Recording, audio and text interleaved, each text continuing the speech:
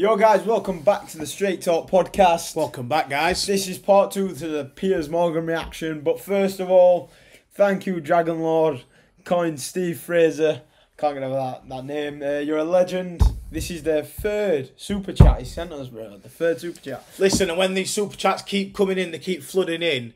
Dragon Lord, we'll remember Yes, you. and- You'll, you'll be at the top of the Dragon list. Lord has said this is for you not to get your moves out, bro, because Yeah. you said on the video that you would get your moves out for money. So there you go. There we have it. Uh, this is a very, very good. Uh, it's, a, it's a good debate, isn't it? Yeah. So let's carry on. We're going to get into a few more topics on it. So I heard a, a bit about abortion, Yep. uh, a couple of other things. So yeah, Right now, Piers is wanting a straight month. Wants a He's getting upset month. about not having Yeah. it.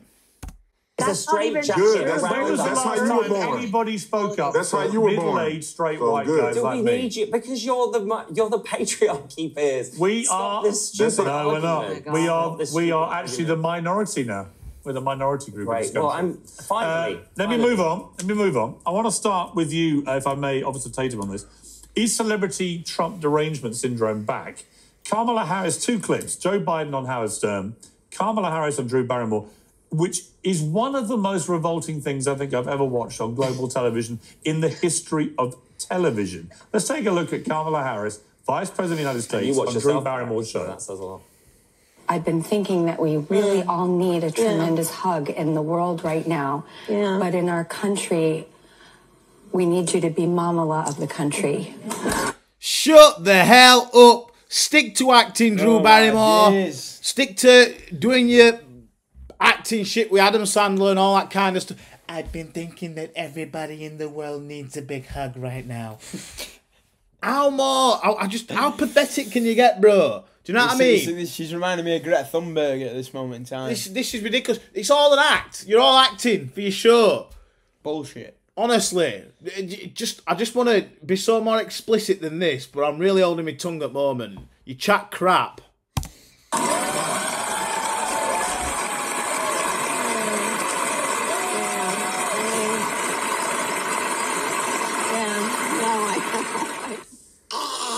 Yeah, Uh, Let exactly. me bring it up as a Tatum. Have you ever felt more nauseous watching television than in the Marmala moment?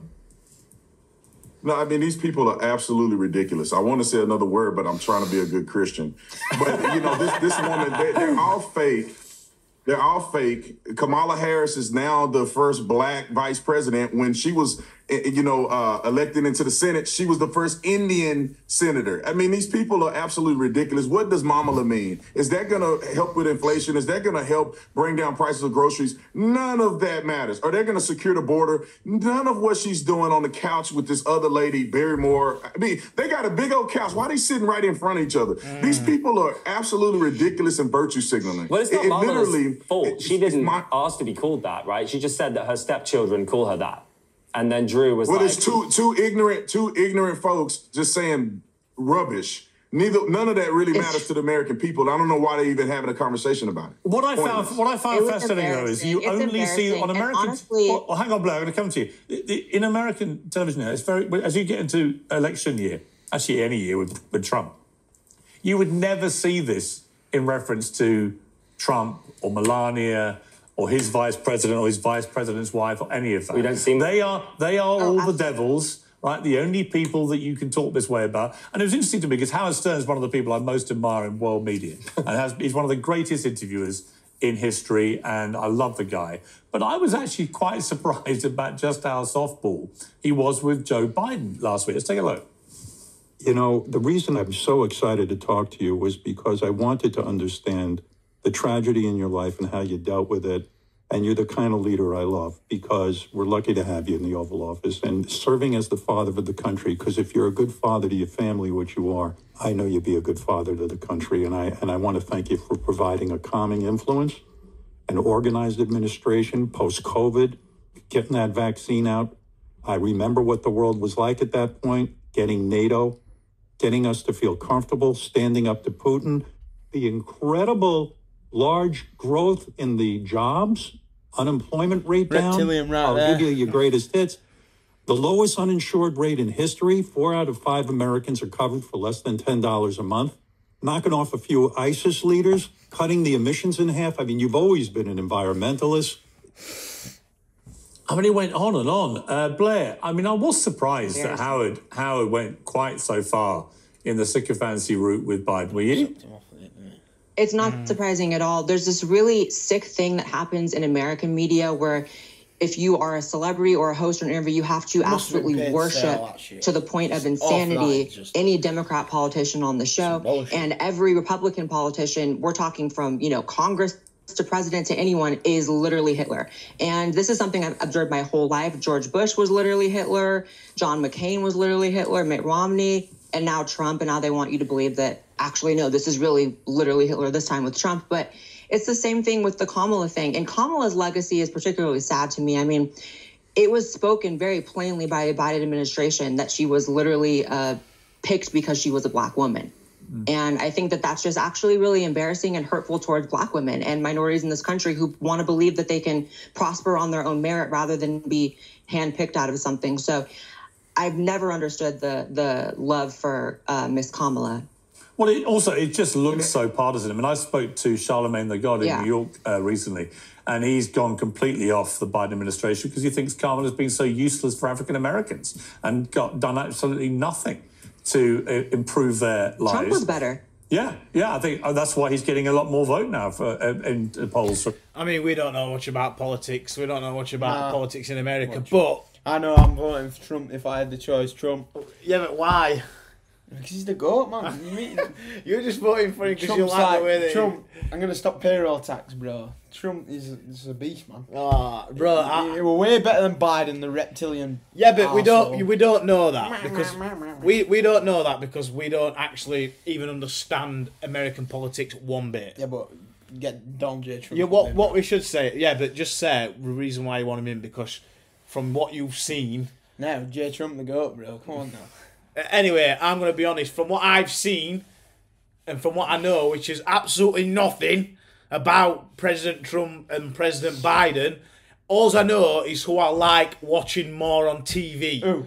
and that's who I'm gonna. That's who I would Who's pick. that? Trump. Exactly. But Trump's I'm not goat, picking bro. Trump because of his policies because I don't know about his you gonna policies. You're like, I'm picking Trump because of his Joe- policies. Joe Biden. You don't even know know about Trump's policies. We're British. How, how the hell can you tell me about, about, Trump's about Joe? Biden, bro. Just sits like Yeah, but it's the his guy. reptilian eyes. Like Listen, You've seen him when they drink water. Like they are both very entertaining, right? They Yeah, are bro. both very entertaining. But Trump just for goat. me, for entertainment purpose wise, I want to see Trump back in office again because obviously, I, I, we do know that Biden is losing his mind a little bit, and he's rightly so. The guy's in his eighties and he's trying to run America. rep- like you tell me bro. another eighty-year-old that can do that shit. No He's one. reptilian, bro. I'm telling you, lizard, lizard people. Maybe You so. Trump back on. You see it when they drink water, when the tongues split into two and that. African African Americans. Um, Esther, let me ask you. There's also a, t- a Time interview with Trump. They had two long interviews with him. Done a big cover story in which he lays out what he may do if he comes uh, back to the Oval Office, and it's gone down with the Democrats like a lead balloon. Obviously, um, amongst many things, he said he used the military to sort out the southern border, uh, National Guard if necessary migrant detention camps possible, suggests a 60% plus tariff on Chinese imports. Well, listen, I, I think those what Piers Morgan's just said, from what I know, is, is actually quite good. As if you won't use the army to stop the immigrants from coming from Mexico. They're coming over in freaking thousands and thousands and thousands. Yeah. Traveling through Texas, do you know what I mean? Just, it's not just uh, a couple hundred. Uh, no, it's not. Every couple of months. As if you won't tax China more as well. They are the enemy. Um, says that uh, Israel, um, they should be uh, changing their public relations. It's fared very badly. It says abortion is a states' rights issue. Talking about access to abortion pills, we'll have an option, opinion on that. I'm not going to explain, I'm not going to say it. I have pretty strong views, but he won't say them. Uh, he would absolutely consider pardoning January 6th defendants. Uh, uh, even those who've obviously been sent to prison. Uh, NATO Europeans need to pay their share, uh, and so on. So, uh, a lot there of very Trumpian stuff. Wh- What's your take on this Time interview? I think he said a lot of things that would resonate with people that have basically been left with no other option than to mm. vote for Trump. I think the the Democrats' reaction to Trump baffles me because he is their fault. Everything that he is is their fault. Because if you offered people an alternative, Trump wouldn't even be someone who is taken seriously. He's not, you know, clothed in, in, in glory. Um, but one thing that does concern me about Trump that I think we need to look under the hood a little bit is who's going to be in his administration. Because being a politician isn't just about convincing people to vote for you. It's also about being a leader and being able to bring people under your roof and actually get them to work together to have a coherent administration. He's alienated a lot of people that have been consistently by his side for years. And that's the thing that concerns me. I think a lot of the things that he says is quite common sense, leaving abortion to the states, you know, securing the southern border, all of these things that the Biden administration, administration could just say they want to do, but will not do it because they've been effectively hijacked by lunatics that I, I genuinely believe hate America. Okay, well, James, you are our resident political expert in America after am. last week. So, your take on uh, on Trump derangement syndrome? We're probably about to hear an example of it, but um, your view of his manifesto if he gets re-elected? I, honestly, I think it's terrifying. That interview is, is scary in many ways. I think the thing that stood out for me the most was the stuff about tracking pregnant women and allowing states with anti-abortion bans to track women's pregnancies. And it's not surprising from someone that said you can grab women by the pussy to now want to track women's literal pussies. But I do think that's a bit of a problem. Make, and we a- should make a track. Grab her by the pussy. grab her, grab her, grab her. You know, like a, a dance track or something. it's very scary, and I, I agree with Esther. It, it's it's surprising that he wants to just rule the world and doesn't care about what other people think. Do you know what's interesting about the whole abortion thing? Because Trump has mo- All right, guys, that uh, rounds this one off because we're going into. Abortion is bad. Abortion is murder. I do completely disagree with abortion. Just for reference. I'm not even going to get into that because it's the end of the video. So, let us know what you guys think in the comments below. Like and subscribe to the channel. We need your support. Don't forget, hit that notification bell as well so when we bring out new content, you can get notified. See you next time. See you later. Did you just flex? No, I was stretching. Oh, this guy. See you later.